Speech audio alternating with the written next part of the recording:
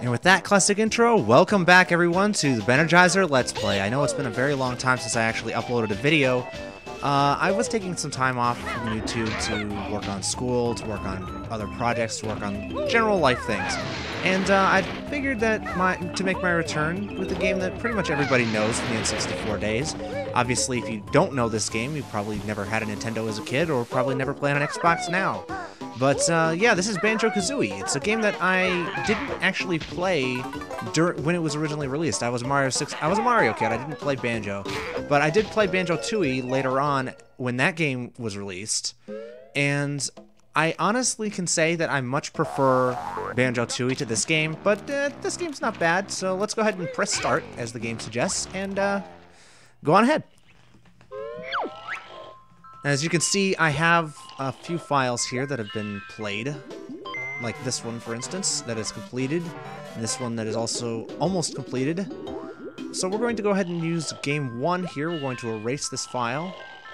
And, uh, get started. There is a long introductory sequence here, and I'm going to keep quiet through most of it, even though there's not actual dialogue. Just so, uh, out of respect for the source material.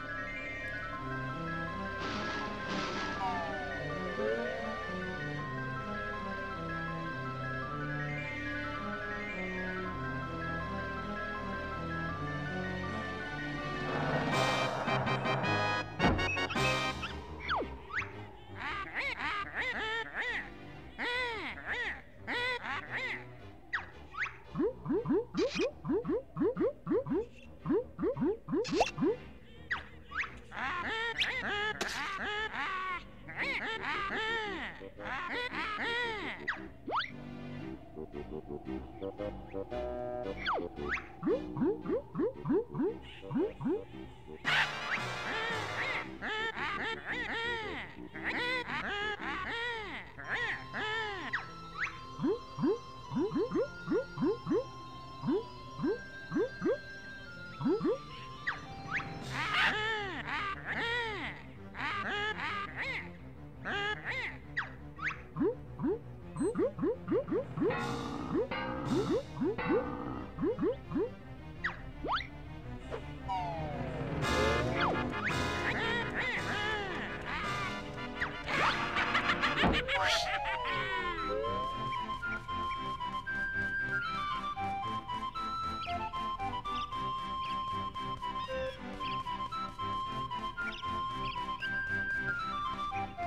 Oh!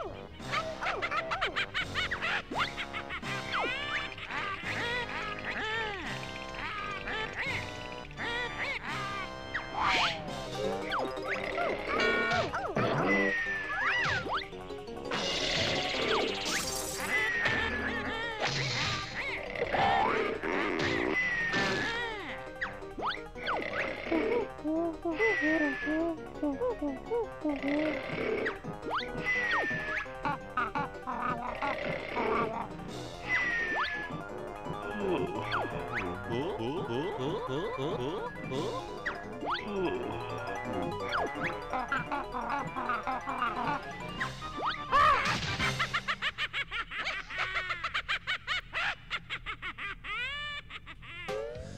now jumping back in on the commentary, I just want to note the fact that not only did do Banjo and Kazooie live right next to where Bottles is, and yet the two have never met, but the witch's lair is literally right there, and Tooty never saw the witch before now. Amazing coincidences, huh? Let's go ahead and talk to Bottles.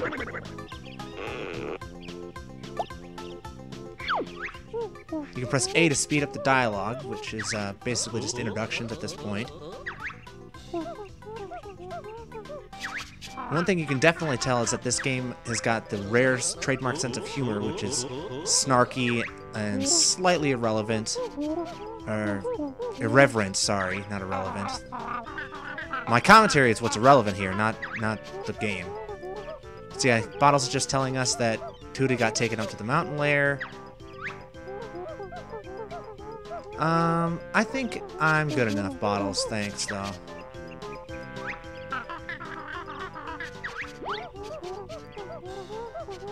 But I'm going to go around and do where he would have taken us for the tutorials anyway, because I want to show y'all how to do them and then uh, collect some items while we're at it. So you can press B while you're running to do a forward roll. That's your that's one of your basic attacks. Uh, you can climb trees simply by jumping at them, just like you can in Mario. Use the C buttons to move the camera around, again, just like in Mario. Hold down Z, press A to do a backflip, again, just like in Mario. This game has got a lot of similarities to Mario 64, and the two games were contemporaries. They were on the market at the same exact time. We can grab these honeycomb pieces to uh, potentially increase our life bar. We have to collect a lot of them for it to actually work, though. Um, you can kill some enemies around here. None of them are really that important to kill, though. Uh, you can, I believe it's in this tree. Yes, there's another piece of honeycomb right here. Okay, and then we can head up this way past Carrot Man here. Uh, and go up towards the waterfall. Where you can press A, and then press A again in the air to do a bit of a boost. They call it the flip-flap jump, I believe. Or no, it's not the flip-flat jump, that's the backflip. I'm trying to remember exactly, I can't remember exactly what that's called. It's called like the flutter jump or something like that. And then there's an extra life back here behind the waterfall.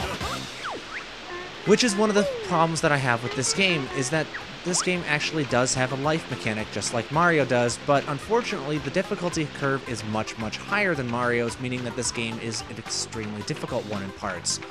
And the fact that you have lives only makes certain parts of the game harder rather than easier for artificial difficulty reasons.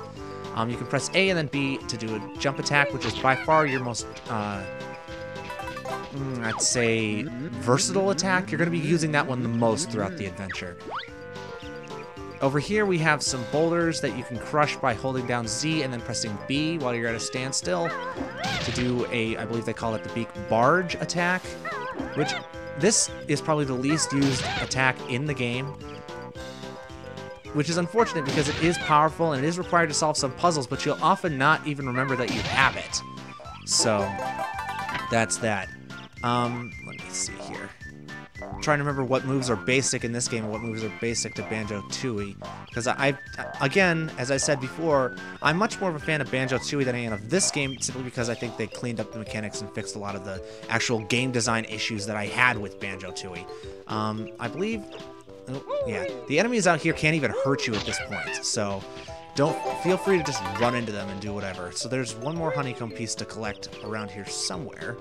I believe it's actually in the water. Let me see.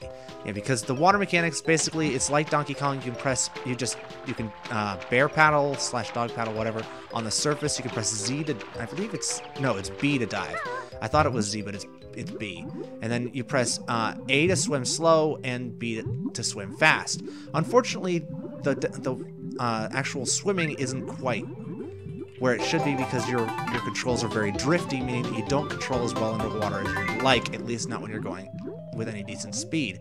And since Kazooie takes so long between strokes, you can it's basically like driving a car that you you're pumping the gas pedal instead of holding it down. So it, you go, go in bits and surges. And then for getting six honeycomb pieces, we got an extra cell on our life bar. We're gonna want to keep that uh, in mind for future areas that we're gonna be going into. But we've done all we can out here on the overworld of Spiral Mountain. So let's go ahead and head up the Spiral Mountain itself and towards the Witch's Lair. If we tried to come up here before doing the all before getting all of the moves, Bottles would have taken the bridge down and wouldn't let us pass until we'd had learned all the moves from him. But since we skipped the tutorial, we can we could have just come up here right away if we wanted to skip getting the honeycomb pieces. There's a nice, cool little animation of Bottles burrowing back into his hole. Then we can cross the bridge, and there's a great little dynamic music change as we transition into the Witch's Lair, which is going to be the home for the rest of the game. And we get a nice little cutscene detailing exactly what trouble, what kind of trouble Tooty is in.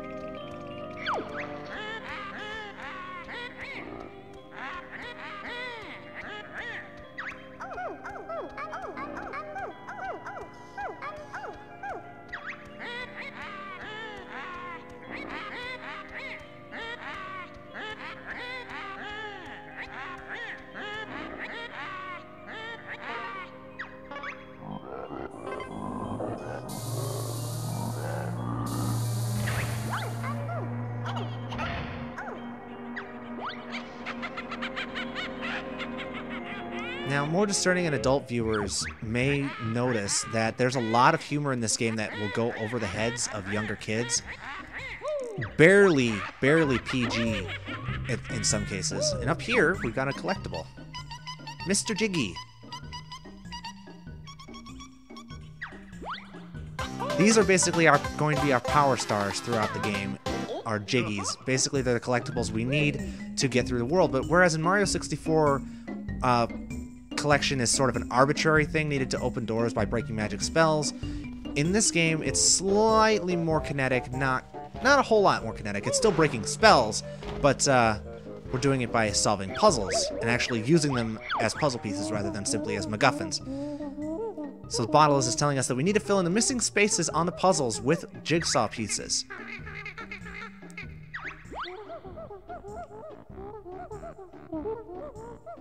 Later puzzles obviously are going to have a lot more pieces missing, and we have to collect pieces from different worlds to be able to fill in fill in pictures to go to new worlds. So we unlock the first world, Mumbo's Mountain.